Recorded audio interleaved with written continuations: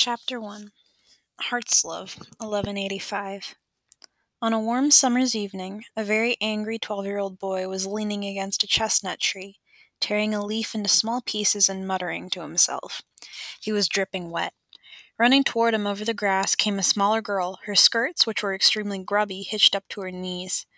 Some distance behind her, panting, came a large elderly woman whose ability to move at any speed other than a bustling walk had long since vanished. The elderly woman was also hampered by a large bundle and the fact that she was shouting as she went, Ellie! Eleanor! Miss Eleanor! The girl took no notice. The boy, however, stopped scowling at his shoes and scowled at the approaching parties instead. The girl stood in front of him, wiped her hands on her skirt, and demanded, What's going on, Will? The courtyard's in an uproar and Gavin's nose is pouring blood. Will glared at her. I hate him. I hate him too, Ellie agreed, though, although this was not strictly true.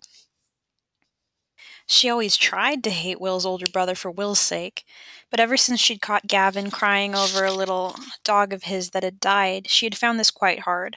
Gavin certainly could be mean. Catching her watching him as he mourned his dog, he had loudly ordered the corpse to be thrown into the moat. However, when Ellie ordered the body to be retrieved from the water, she had, rather unexpectedly, found Gavin beside her.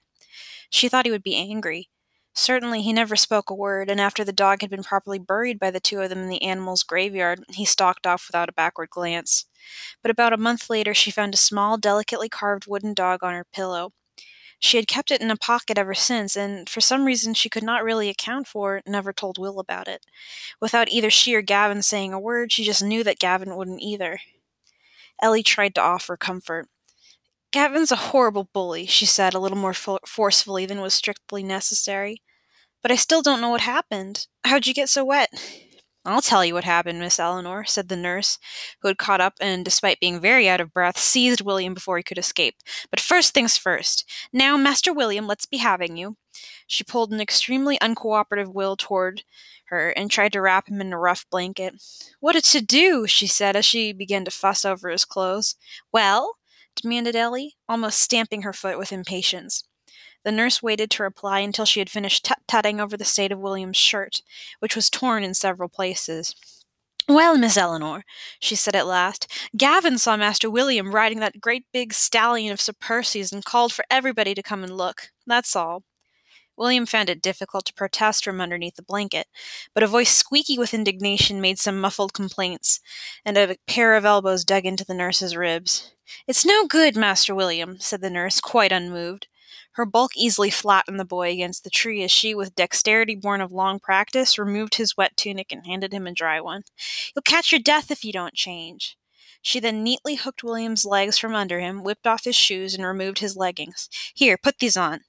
There was a scuffling and a flurry of activity. Oaths were uttered. The nurse raised her eyebrows. Eventually, William emerged, his brown hair tousled and his humor blacker than ever. That's not exactly what happened, he retorted, furiously shaking himself free from the nurse's grasp. Gavin did call for everybody to come and look at me riding Sir Percy's horse, but only to make fun of me. If you want to see what a flea would look like on a dragon, William, William mock, mockingly imitated his brother, come and look at Will. And it was not only the knights who laughed, he went on, aiming a kick at a pile of wet clothes. It was all the servants, too. Anyway, I got my own back if his nose is bleeding. Good. But how did you get so wet? repeated Ellie. There was a short, rather painful pause. Gavin threw me in the horse trough. A very bad boy, that Gavin, observed the nurse, wringing out William's sopping tunic and folding it cleanly. A very bad boy indeed. He threw you in the horse trough. Ellie tried to compose her face and think of something appropriate to say. Maybe he will go to hell. Will looked at her pityingly. You don't go to hell for that sort of thing. You might, said Ellie defensively. How do you know? Will sighed. Here he was being dressed by an aged nurse and listening to a silly girl talking nonsense. I'm going to get Sacramento, he said, trying to salvage some dignity out of the situation. She needs to go out, and nobody can say I look like a flea on a dragon on her. The nurse was exasperated. But it's nearly dinner time, Master William, she said. We've company. Your father will be angry if you're gadding about on that horse instead of sitting down at the table. I don't care, said William, and began walking back toward the castle. Eleanor was unsure what to do, but then ran and skipped along beside him. The old nurse watched them both, picked up her bundle, and sighed. The children were growing wilder each day. They missed a mother. She pulled out a bottle from under her skirts and took a small sip. Then she tucked William's wet clothes firmly under her arm and set sail for the laundry. William, with Ellie beside him, strode along in silence for a while. Then, in the distance, the little girl spied a line of monks in white habits filing slowly into the woods that stretched away to the west of the castle. Look, she said.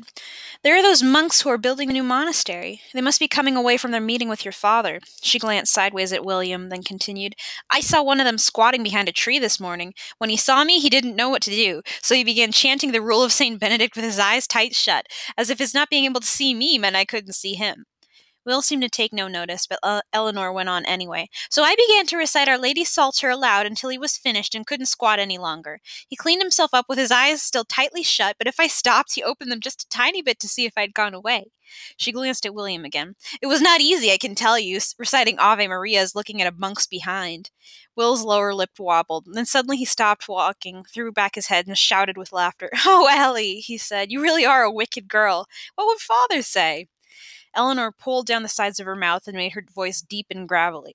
Sir Thomas would say, Eleanor Theodora de Bar, you are the despair of my life. How are we to make a lady of you? Who on earth will marry you and run the great estates you have been left?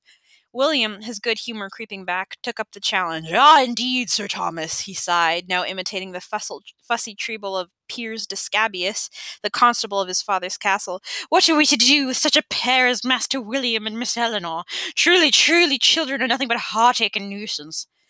The game was a familiar one. Soon the pair were engaged in a most unchristian mimicry, and Will's outraged dignity began to feel less raw. The horse trough incident was by no means unusual. Like many brothers, William and Gavin were constantly at war.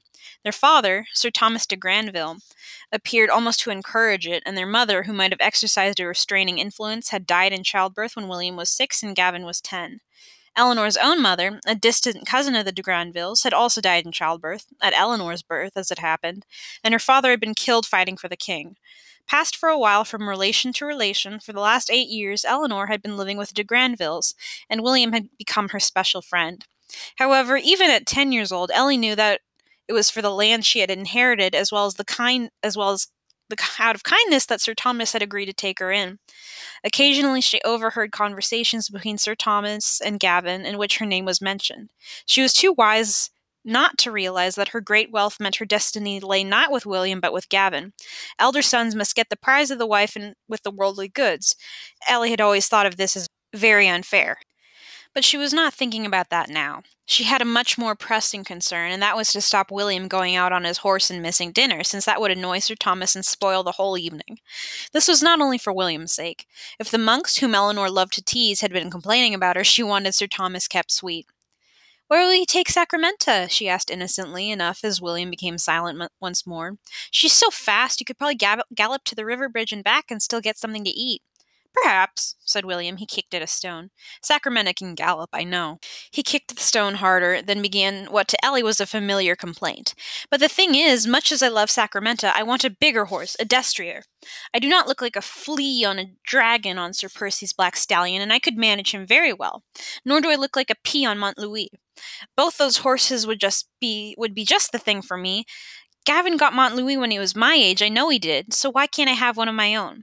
Ellie made sympathetic noises, but since she hadn't ever had even the meanest, scruffiest pony to call her own, she also felt entitled to ask, But isn't a light, speedy horse like Sacramento just as good for you at the moment? That's not the point, replied Will. Of course she's good.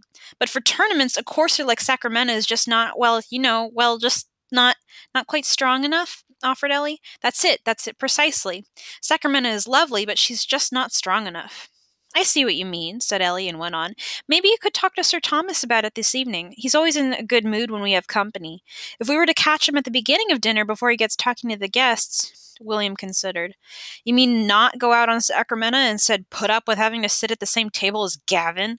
Well, said Ellie, if you're polite to Gavin, your father would see how grown up you are.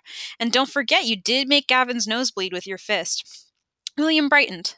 So I did. Perhaps that is a good idea. Perhaps it is silly to cause trouble when I want something. Thanks, Ellie. Ellie nodded as William grabbed her hand and, in just the way she loved, spun around and beamed. Race you back! He set off with purpose. He was not going to be beaten again today, and Ellie, picking up her skirts and shaking out her auburn hair, ran happily after him. Everything would be sunny again.